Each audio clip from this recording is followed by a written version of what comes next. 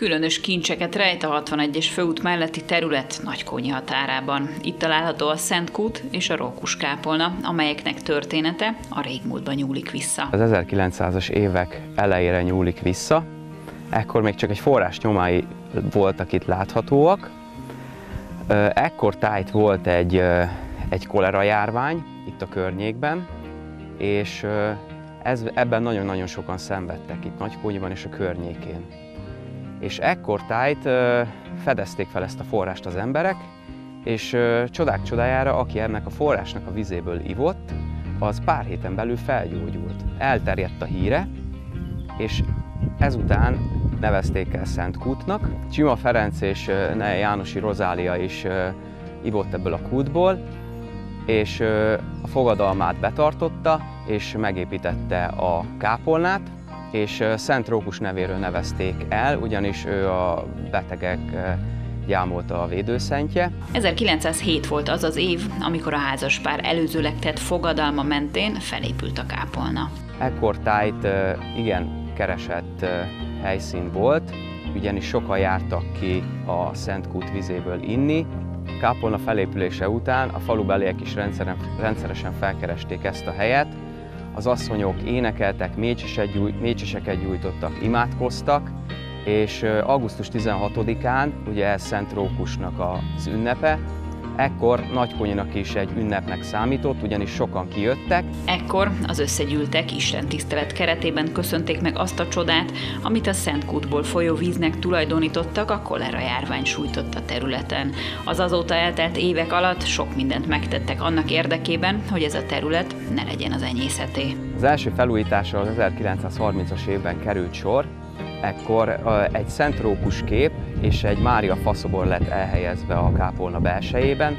Állítólag ezt a Mária faszobrot a kocsola felől jövő árvíz hozta magával. Ezután a állapota megint csak leromlott, a következő felújításra 1997-be került sor, ekkor alakult meg ugyanis a Koppánymenti Vadásztársaság, ennek apropójából felújították a kápolnát, kikövezték a forrást, és egy Norton kutat helyeztek el. A kápolna állapota a 2020-as évre megint csak leromlott, ekkor tájt Sütő Ignác és családja kezelésbe vette a kápolnát és környékét, felújították a kápolnát kívül belül, 2020. június 4-én Trianon 100 éves évfordulója alkalmából egy márványkeresztet helyeztek el a kútfőre. Kápolnát és környékét azóta is gondozgatják, szépítgetik, Ezúton is köszönjük áldozatos munkájukat a Nagykonyi Község Önkormányzata nevében. 2020-as felújítás után ismét egy turisztikai célponttá vált a kápolna. Egyre többen jöttek megint biciklitúrákat, gyalogtúrákat terveztek, csoportok érkeztek, sokan vittek haza a forrásvízből. A kútból folyó hűsvíz egy nem hivatalos bevizsgálás szerint iható. Az erre járok a mai napig szívesen fogyasztják és viszik magukkal a visszaútra a szomjoltó kellemes hideg vizet. A 61-es főútról földes úton át megközelíthető kápolna a jövőben más módon is elérhető lesz a tervek szerint. A kormányzati projektnek köszönhetően az elmúlt időben nagyon sok bicikliút épült Magyarországon, az egyik ilyen projekt a Tamási és Dombovárt összekötő bicikli útvonal létrehozása.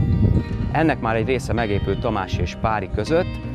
A Nagykönyi község önkormányzatának az a célja, hogyha megépült a bicikli út, akkor egy ilyen kerülő utat létrehozzon, ami a bicikli úttól egy ilyen bekötő útszerű lenne, ami eljönne egész ide a kápolnáig, és egyfajta ismert híresebb turisztikai célpont lenne, és egy, egyfajta pihenőhelyként szolgálna az erre látogatóknak, a forrásvíz pedig a szomjukat csillapíthatná.